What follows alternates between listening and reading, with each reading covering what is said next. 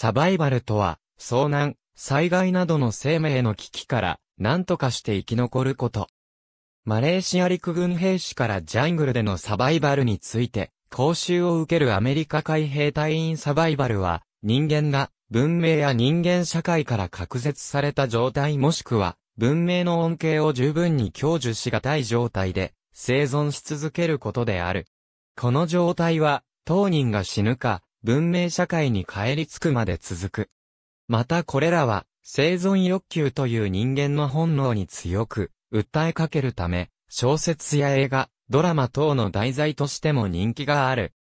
軍事面では、補給が完全に途絶え孤立した場合における生存を指してサバイバルと言い、軍事活動の延長に挙げられるが、その一方で一般の人の場合は、交通機関の故障、異常により、文明から隔離された場合や、または、災害や紛争などにより社会生活の基盤が崩壊した際に行う活動である。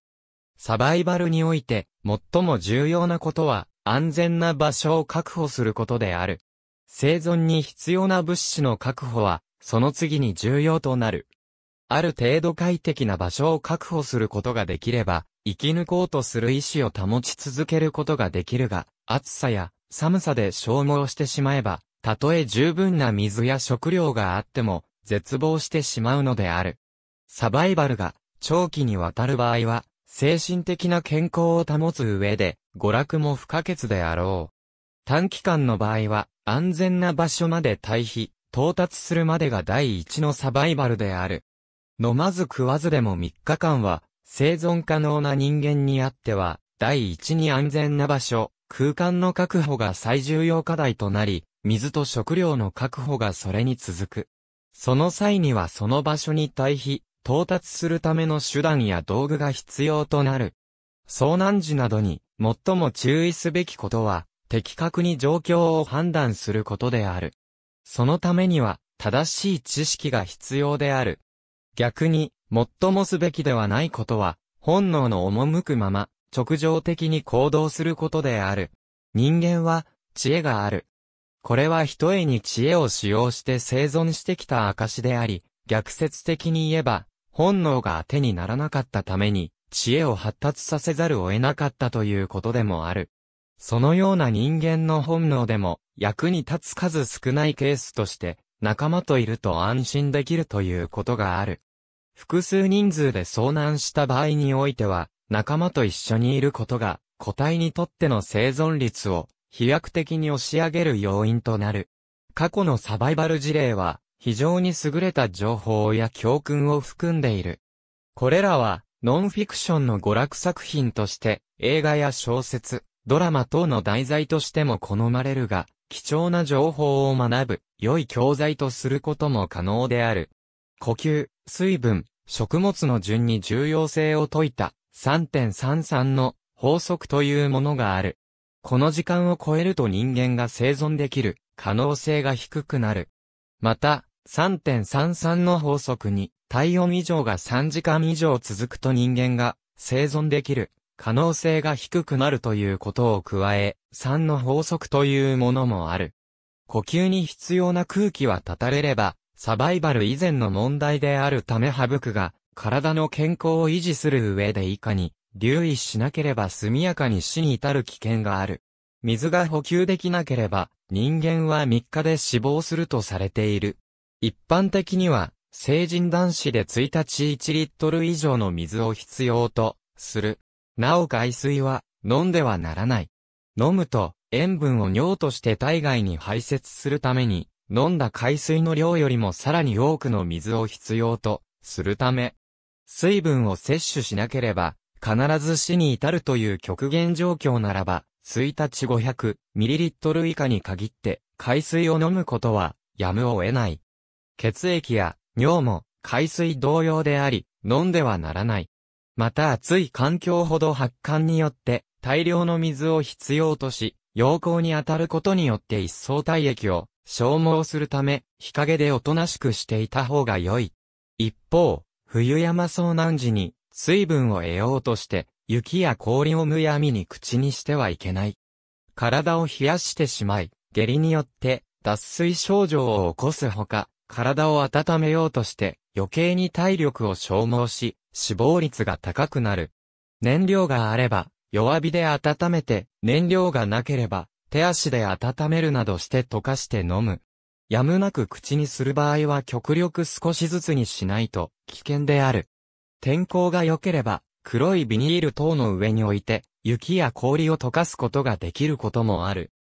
また食物を取ると、消化のために水分を必要とするため、水が乏しい場合には食事の量を抑える。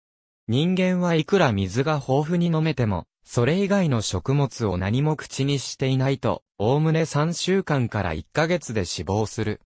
一般的には、男性よりも、女性の方が、皮下脂肪が厚く基礎代謝が少ないため飢餓に強いと、される。ただし、体育の大きさによる差もあり、山岳遭難事故では、男性が生き延びるケースも多く、救急搬送された後の医学検査では、一概に女性有利とは言えなくなってきた。あくまで同じ体格であるならば、女性有利という解釈が妥当であろう。食事は、寒い環境では体温を上げるために、糖質や脂質が多い方が望ましい。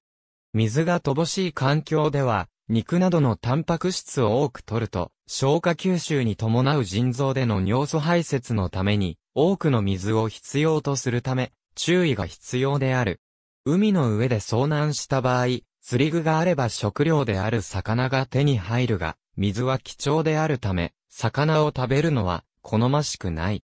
なお魚の脊髄周辺には、比較的塩分の少ない体液が蓄えられているので、丸ごと食べるか脊髄周辺の体液をすすることで、水分を補給できる。炭水化物は、重量あたりのカロリーは低いが、代謝に伴い水分を発生し節水欲求を下げるし、体に負担をかけないので一番好ましい。脂質は、重量あたりのカロリーは高いが、連食すると、ケトーシスになり、肝臓に負担をかける。しかし、飽和脂質は保存しやすいため、非常時には良いカロリー源である。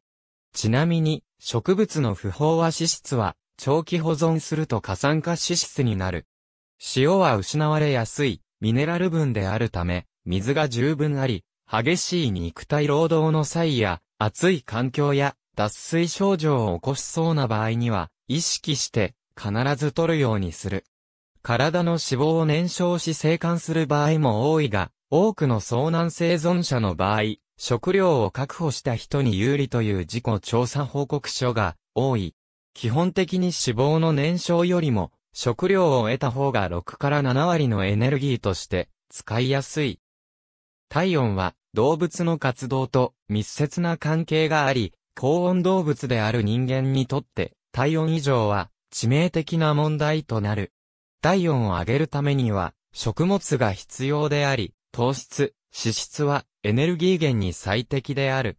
体温を下げるためには、水が必要で、同時に発汗によって失われる塩分をはじめとする、ミネラル分を補給しないと、体調を崩して、体力を余計に消耗する。低体温症は、体の内側が35度以下になると発生する。体温が26度以下では、意識を失い、生命が危機的な状況である。目が覚めていて起きている場合には、自律神経の働きにより、低体温症を起こしにくいが、極度の疲労や睡眠不足により熟睡してしまうと、日本国内の夏場の夜間、屋外であっても、低体温症に陥る危険がある。また、風が吹いている場合は、風によって体温が奪われるため、気温が低く肌寒い環境では、寒さ対策が必要である。応急処置は胴体を38から43度ほどの湯につけて温める。気温が10度であっても、風速10メートル毎秒では、体感温度は0度に匹敵する。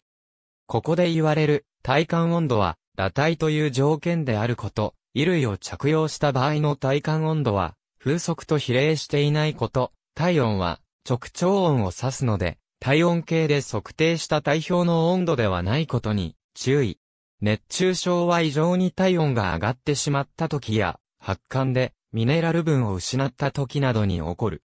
重労働をしている時や湿度が高い時には特に注意が必要だが、締め切った、車内等では、日本の4月頃の陽気でも起こりうる。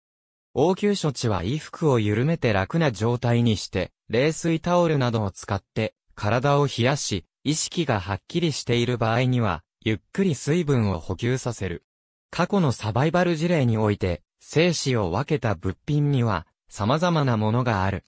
以下に挙げるのは、いくつかの事例において、その有効性が立証されたものである。小説と、その派生作品漫画映像作品。ありがとうございます。